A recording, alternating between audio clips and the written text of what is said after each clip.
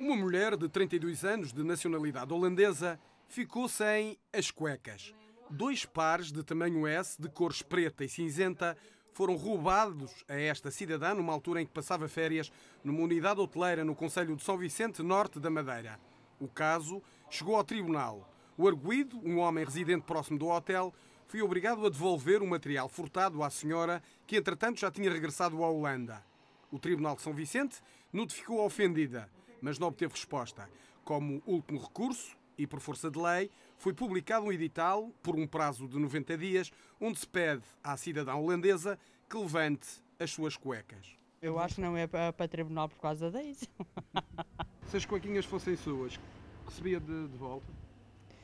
Não sei se recebia, punha no lixo. Ou levava-se que era tribunal num caso em que envolvesse o roubo não. das suas cuecas? Não, não, de forma alguma. Pode ser que tenha lá escondido alguma coisa, não sei. Embora seja uma formalidade legal, não será este um caso caricato da justiça portuguesa? De que é mais um caricato da nossa não-justiça.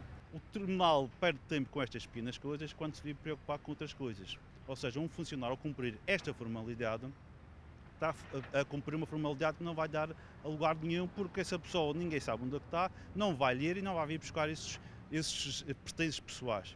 O Tribunal de São Vicente vai agora aguardar um prazo de 90 dias para que a dona das cuecas reclame os dois objetos. Caso não o faça, o par de cuequinhas reverte a favor do Estado. Com a imagem de Renato Abreu, Mário Gouveia, TV Madeira.